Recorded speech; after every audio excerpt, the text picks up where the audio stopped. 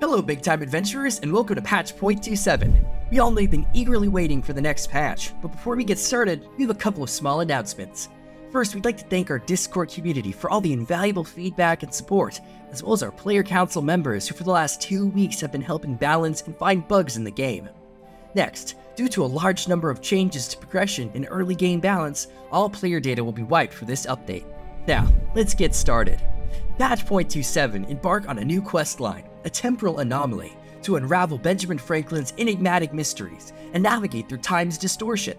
The fate of the fractured timeline awaits your discerning actions. Play through two exciting chapters with a brand new boss encounter. And it doesn't end there. Be on the lookout for more chapters in future patches. Next, there are multiple new objectives to challenge you as you complete adventure instances in Big Time. Annex strategically place strongholds, power up entanglers, and reactivate and feed the chronographer in order to re-establish timeline continuums. New objectives are just the tip of the iceberg. There have been substantial changes to adventure instances.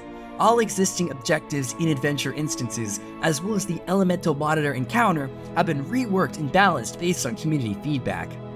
Rare higher difficulty instances will now appear occasionally throughout the game, if you're ready for the challenge. Forest dungeons have had many aspects of their visuals improved, and some new surprises await you in the Egyptian adventure instances. Watch your step. To take on new challenges, you'll need some new abilities in your arsenal.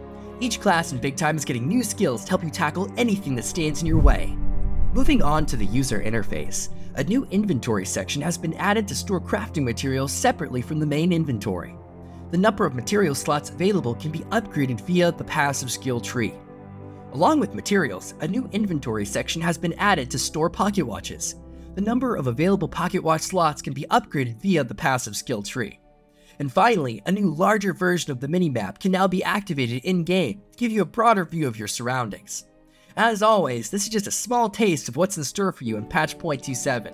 Be sure to check out all the patch notes linked in the description to get a full list of all the changes coming to the game. Until next time, adventurers, we'll see you in Time's End.